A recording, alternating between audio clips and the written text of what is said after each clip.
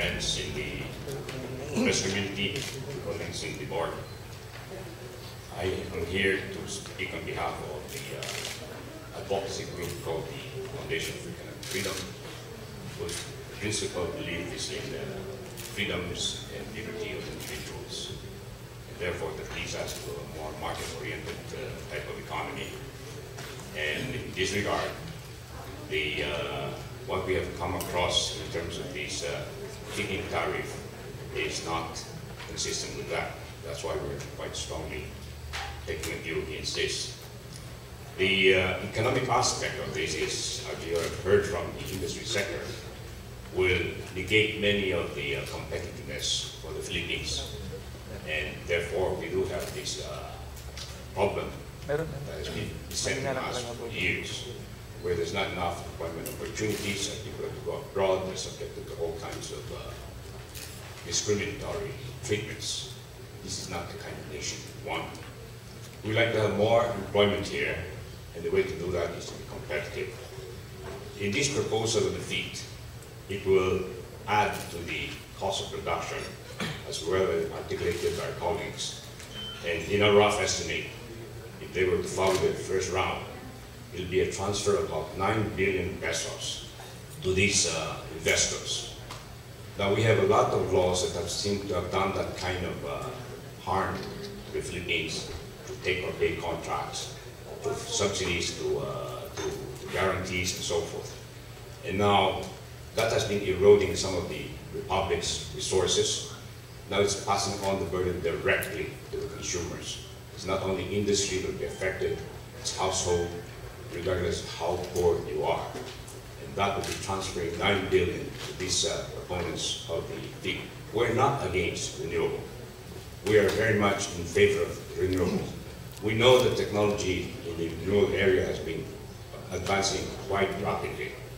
For instance, in the area of solar, the new technology that's coming around, the print solar system, will be much cheaper. It will be more flexible for all kinds of surfaces, rather than to carve out hectares of land. The, the kinds of uh, requirements for solar, for instance, which is one of the highest fitting rate at 18 pesos per kilowatt hour, requires one or two hectares per megawatt. You put up a 100 megawatt plant, you need 200 hectares of land. The 200 hectares of land will have to be taken away either from agriculture or cut up the forest again. And you're again getting back into are we doing more good or harm to our environment? So these are some of the things that has to be addressed. We should not end with the first round, which is very much driven by suppliers of these kinds of equipment at this point in time. They have to recover the investments, they took the risks. But why should a country like the Philippines absorb the risk of their venture? If they make a mistake, let them swallow it. That's a market reward. And uh, there are a number of solar manufacturers have gone close shop because they're too expensive. The process of manufacturing that kind of equipment involves a lot of heavy energy use. In the manufacturing of the ingots, you use a lot of power. From the ingots to the cutting into the wafer, it needs a lot of power. And from the ingots, from the wafer, set up into solar panels, that's a whole layer of costs that we have to absorb. The new technology coming in would be print, printing silicon on surfaces. This is now being advanced by a company, and I understand that will bring down the cost substantially. So have some patience, we'll get there. Do not rush the Filipino population with all these kind of costs. That's the same with wind power. In the area of wind power, we have seen, the, incidentally, the wind power and the solar are not very predictable suppliers of energy. They're volatile. Nevertheless, the argument there is that they are somewhat free in terms of their uh, energy. It has no pollution effect.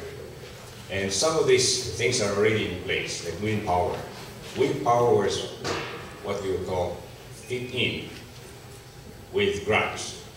The ones in, in uh, northern Luzon, Ilocos Norte, was put in place with a 10 million grant, with an interest-free loan of about 30 million, and the capital investment is only about less than $10 million for the 33 megawatt. Today, they have been running, in fact, when they started off with all those kind of subsidies, they felt that they can be competitive with the uh, NPC. They were charging 7% below the NPC rate. But they found out that their supply side was not predictable, so they made a mistake. Now that mistake will be pushed to consumers again to bail them out with a 10 pesos fit-in rate. The question is why? If the law says fit-in is to bring in something that's not yet there, that entity is there already, why do you have to give him another bailout?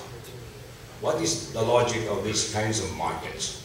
So some of these things we really find very much pushed by vested interests. Many of these are foreign. Some arguments have been made about generating billions of jobs and billions of dollars of investments. We don't dispute that. But that's in the foreign country that manufactures this. We have to spend to bring this into our country. And in the process, as made clear by colleagues in the industry, can start eroding our competitiveness and generate less here.